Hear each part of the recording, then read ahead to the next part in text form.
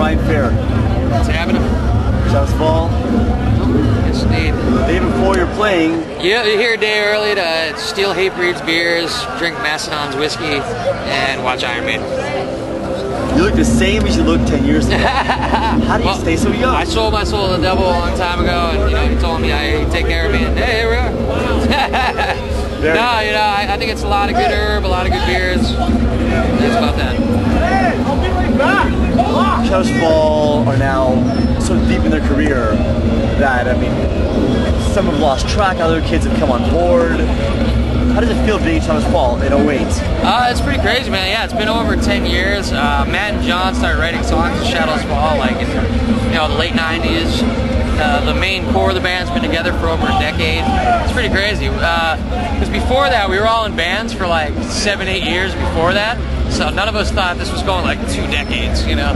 So, but it's been great. It's an amazing run. We're having a good time. Uh, uh, metal has kind of grown as we've grown as a band, so that's been cool. But uh, it's also weird too, because when we started, there was like a few bands in, in America, much less New England, doing like kind of you know the metal thing. But now it's it's definitely grown to where it's that it's become like just a part of the normal like sort of musical landscape. So it's pretty crazy to see how much has changed.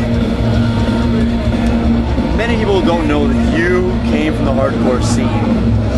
Talk a bit about the experience of growing up in Massachusetts hardcore scene in the 90s. Yeah, you know, it was a, it was a pretty strange scene uh, in Boston in the early '90s. I really started going to shows around like 1990, you know, 89, 90, uh, and it was like a lot of uh, kind of the New York crossover bands would come up, Leeway, Cro-Mags, and uh, there was a lot of great Boston bands at the time too, like you know, yeah, Only Living Witness, uh, you know, Sam Black Church. Uh, and just it was kind of a weird time where metal was really mixing with hardcore as well where there wasn't a, uh, every show was kind of a, a bunch of bands coming together. You'd have sick of it all playing with sepultura.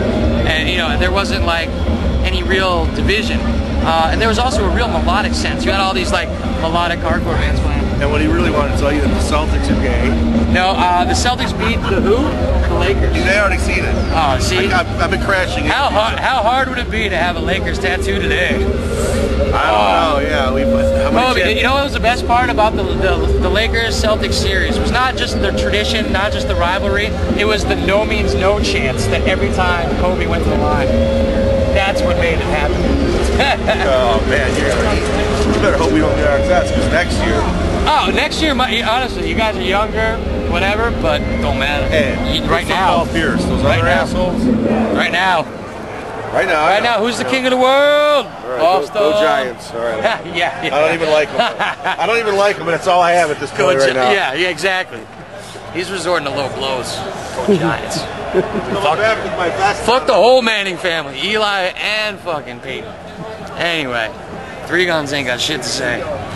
I mean, what kind of hardcore values do you still carry on either individually or as a band from early years? Uh, well, we've always been a DIY band. I mean, the, the, that's what's funny. Even when Shadows Fall was always a metal band, and, and uh, even before I was in the band, but they put out their own first seven inch, their own first record. They booked their first tours with Overcast and us and Disembodied. You know, and like like did hardcore shows and always, you know, Matt had his own label and zine, and we just always did things ourselves. So that's always been part of what we do. Even now, like, yeah, we're on, you know, we have a label and management and all that stuff, but we still take care of everything, you know, ourselves. So and that's something that's that's more about just loving music, you know, and, and those were the hardcore values. Because if you didn't love it back then, you didn't, you couldn't do it.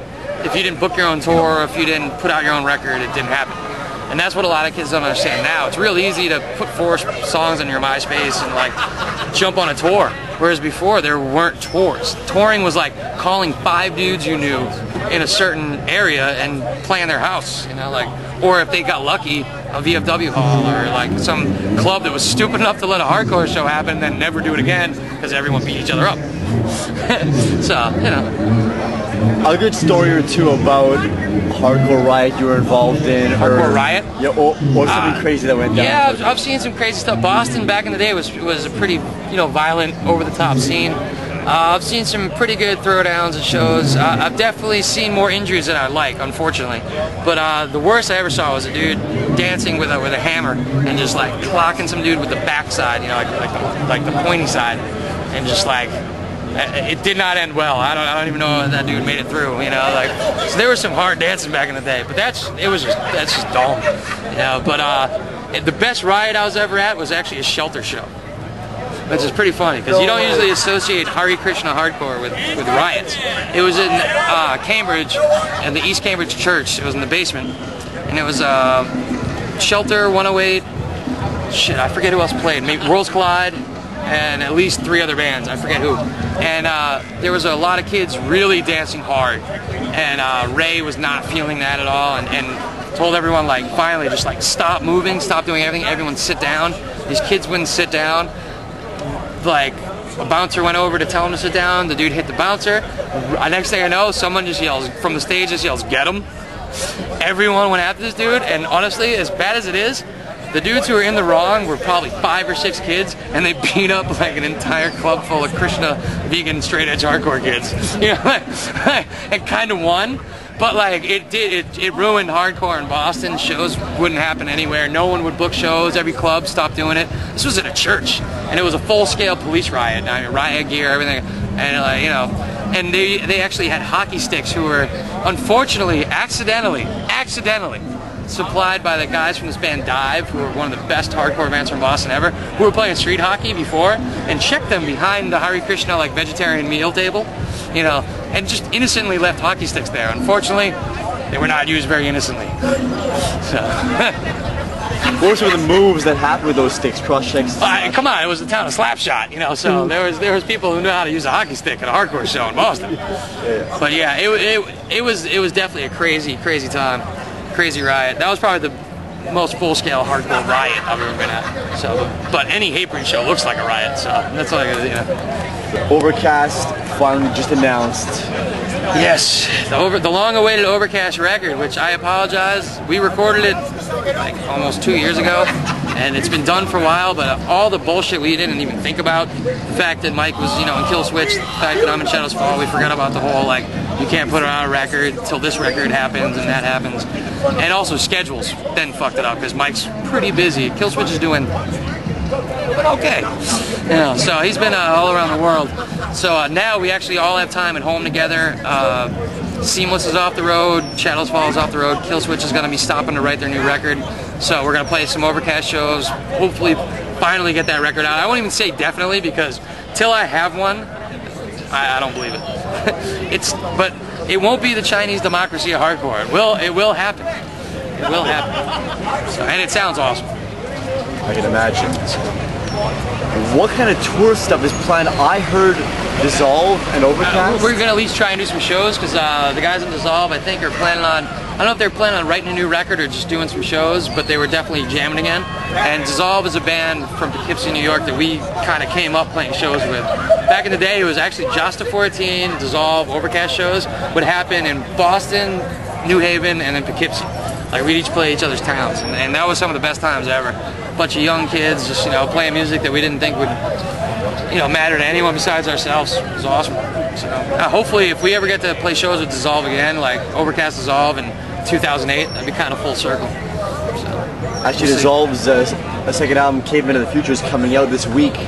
So it is coming out. So yeah, that- they actually, yep, that's awesome. So I knew I heard something about them recording a new record. That's awesome. It's well, it's the old record, Oh, it- oh, so that's what it is. They're putting out. ten years ago. There you go. So they're actually finally putting it out. There you go. That all, now it all makes sense. So, the Overcast record, they're old songs, except for well, they're all old songs, but some of them you've never heard. That's the difference. Uh, we were we wrote some songs. Shit, I guess now it was like a long time ago, man. but uh, and we never recorded them. So we recorded those songs, plus we re-recorded a bunch of songs that uh, we'd recorded before, but you know, for like no money when we had no idea what we were doing. So it's nice to kind of hear the songs actually for real.